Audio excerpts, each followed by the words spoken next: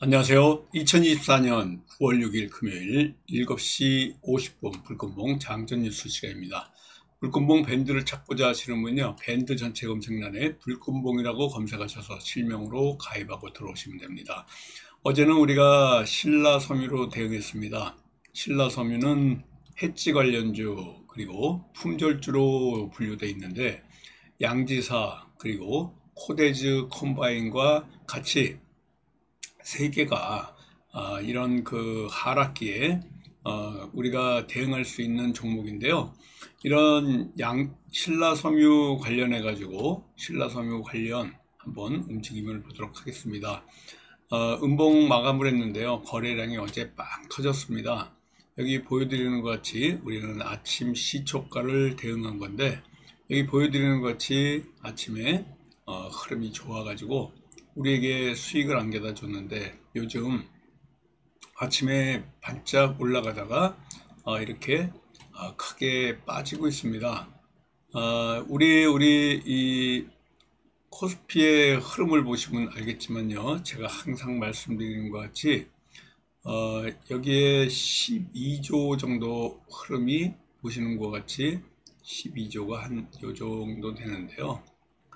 어, 이 12조 밑에서 움직이고 있어서 평균 거래량이 뚝 떨어져 가지고 어, 이렇게 저조합니다.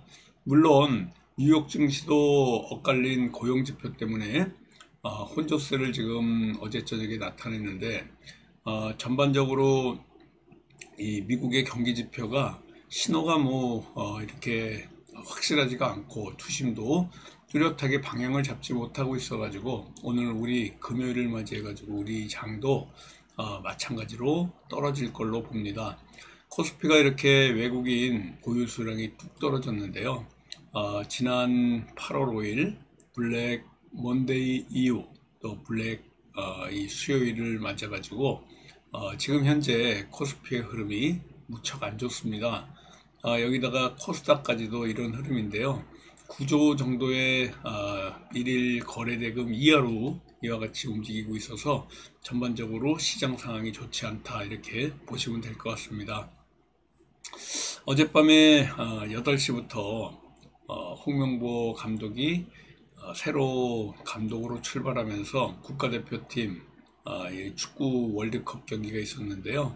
서울 상암동 월드컵 경기장에서 열렸는데 저도 어, 8시부터 봤는데 어, 뭔가 이 무승부로 끝나면서 어, 첫 발이 완전히 어, 불안한 가운데 우리 축구 어, 팬들이 완전히 실망을 해서 저도 어, 후반전 절반 정도 보다가 어, 다른 걸 봤습니다. 결과만 보면 되겠다 싶어가지고 어, 이 축구 어, 이런 경기의 흐름이었고요. 오늘 윤석열 대통령은 어, 기시다 총리가 우리나라에 옵니다. 그래서 오늘 회담을 하고 기시다 총리는 어, 조금 있다가 어, 퇴임을 하기 때문에 어, 이렇게 그 일본 총리하고 그간에 11차례 어, 한일 정상회담을 했다. 뭐 이런 어, 뉴스도 나오고 있습니다. 여기다가 오늘 김건희 여사의 명품 가방 수수 혐의로 기소할지 심의할 검찰 수사심의 어, 위원회가 오늘 2시에 열리는데요. 어, 상당히 정치권에서 중요한 이러한 그 결과가 어떻게 나올지 어, 또 오늘 지켜봐야 될 것 같습니다. 어, 나, 기온이 한 25도로 오늘 어, 이제 가을 재촉하는 날씨가 되고 있는데요. 낮 최고 기온은 아직까지는 33도까지 오르고 있고 전국이 지금 흐린 가운데 오늘도 소나기가 예상되는 어, 하루다 이렇게 보시면 될 것 같습니다. 어, 전반적으로 이러한 흐름으로 오늘 갈 것 같고요. 어, 전기차 화재와 관련돼 가지고 우리가 또 어, 지켜봐야 될 사항들이 있는데 어, 여기 보시는 것 같이 전기차 배터리와 관련돼 가지고 어, 오늘 오전에 이렇게 전기차 화재 안전관리 대책을 발표할 이런 가능성이 어, 굉장히 많아가지고 종합 대책까지 발표합니다. 국무조정실에서 어, 오늘 오전에 이렇게 한덕수 국무총리 주재로 어, 결과를 발표할 건데요. 그렇다 보면은 전기차 관련해 가지고 배터리 관련해서 어, 움직임이 있을 걸로 보이는데 이런 움직임 중에 하나가 어, 또 어, 한빛 레이저 어, 관심 있게 지금 보고 있다 이렇게 보시면 됩니다. 어제도 조금 움직이긴 했는데요. 전기차 화재와 관련해 가지고 어, 한빛 레이저 어, 좀 흐름이 그동안 괜찮았다 이렇게 보시면 될 것 같고요. 이 한빛 레이저뿐만 아니고 어, 이 민테크 관련 어, 민테크 관련해 가지고는 어제 시간에 이와 같이 상한가까지 치고 올라왔습니다. 너무 치고 올라왔기 때문에 아침에 갭 상승할 걸로 보이는데요. 한빛 레이저 같은 경우에는 어, 보시는 것 같이 3.9% 정도 올라 있는 상태고 지금까지 흐름이 한빛 레이저가 가장 좋은 흐름으로 가지 않을까 뭐 이렇게 지금 보여지고 있다 이렇게 보시면 됩니다. 어, K뱅크 IPO가 본격화되면서요 어, 시총 5조를 목표로 해서 가고 있다 이렇게 보시면 될 것 같습니다. 어, 카카오뱅크 이어가지고 두 번째 인터넷 뱅크의 어, 상장인데요.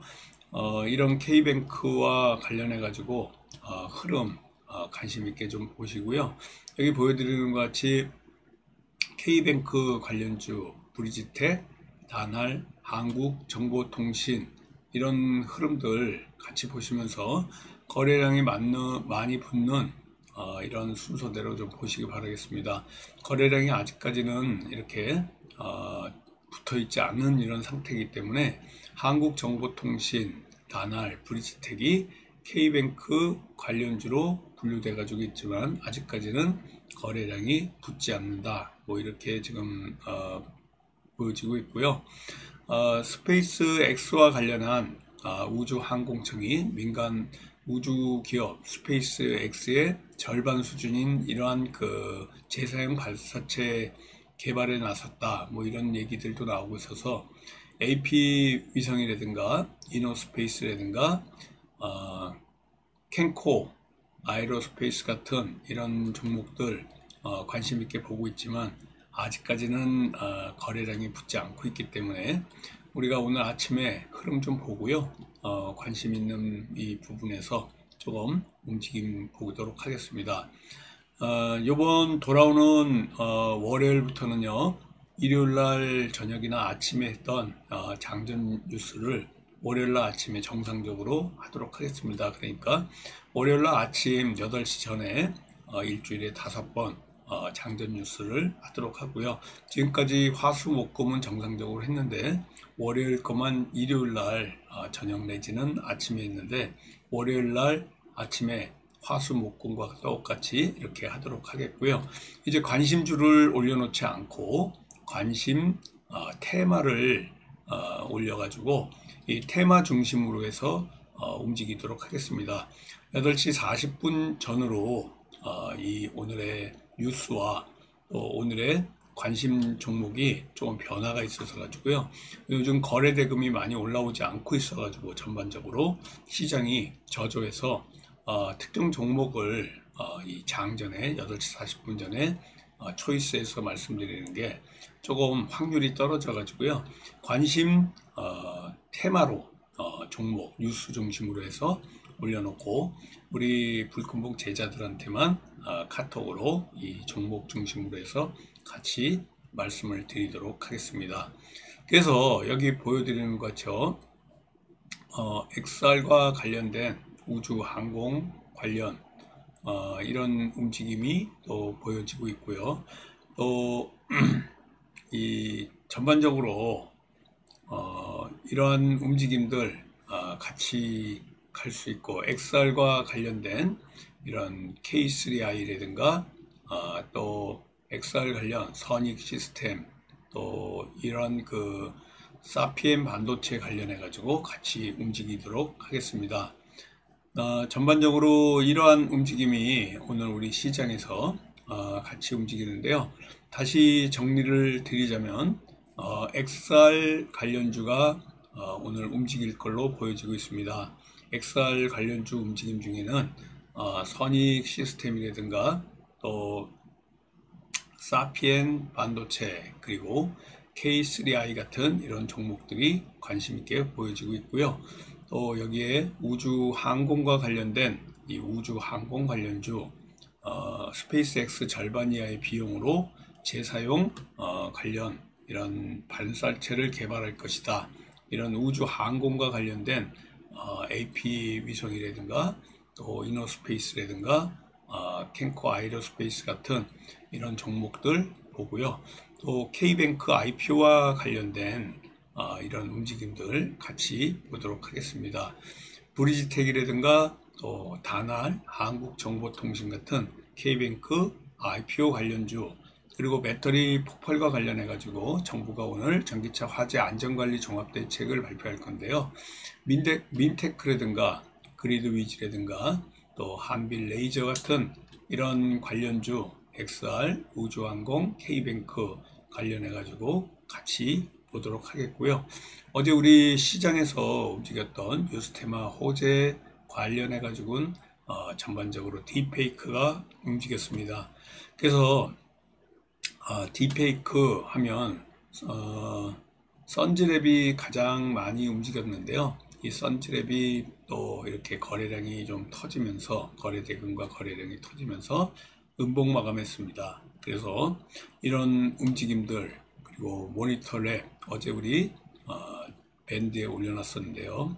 이런 어, 딥페이크 관련해서 같이 움직이고 있고 양자 암호 통신과 관련해 가지고 ICTK라든가 어, 또 PPI 같은 이런 그 관련주들이 상한가까지 치고 올라왔다 이렇게 보시면 됩니다. 어, 쿠팡이 물류 인프라에 3조 정도를 투자한다는 계획으로 쿠팡 관련주 조금 움직임이 있었는데요. KCTC 같은 이런 종목들이 쿠팡 관련주로서 움직임이 있었다 이렇게 보시면 되고요. 자율주행과 관련해 가지고 또 자율주행 관련주 어, 움직임이 있습니다. 전기차 화재 관련해 가지고 이런 전기차 화재가 가장 크게 올라올 이런 종목인데요. 특히 제가 지금 한빛 레이저 제일 관심 있게 보고 있습니다. 한빛 레이저의 움직임 어, 관심 있게 보시면서 민테크, 그리드 위주 이런 그 관련주들 움직임도 어, 정부의 전기차 화재 안전관리 대책 어, 일정과 맞물려 가지고 전고체 배터리와 관련된 이런 움직임이 있습니다. 헤지주 어, 증시의 변동성이 어, 또 품절주 어, 헤지주 관련해 가지고 신라섬유, 코데스 컴바인 양지사 중심으로 해서 어, 같이 올라올 가능성도 있다 이렇게 보시고요. 어, 조금 아까 말씀드렸듯이 배터리 폭발 관련, K뱅크 IPO 관련, 우주항공 XR 관련 이렇게 네 개의 어, 뉴스 중심으로 해서 이 관련주 12개 말씀드렸는데 한빌 레이저 제일 관심 있게 보고 있는 종목이다 이렇게 보시고요. 어, 그 움직임 보시고 8시 40분 전으로 제가 카톡으로 말씀드릴 때 저와 함께 오늘 금요일 어, 성공투자 기원 드리도록 하겠습니다. 감사합니다. 안녕히 계십시오.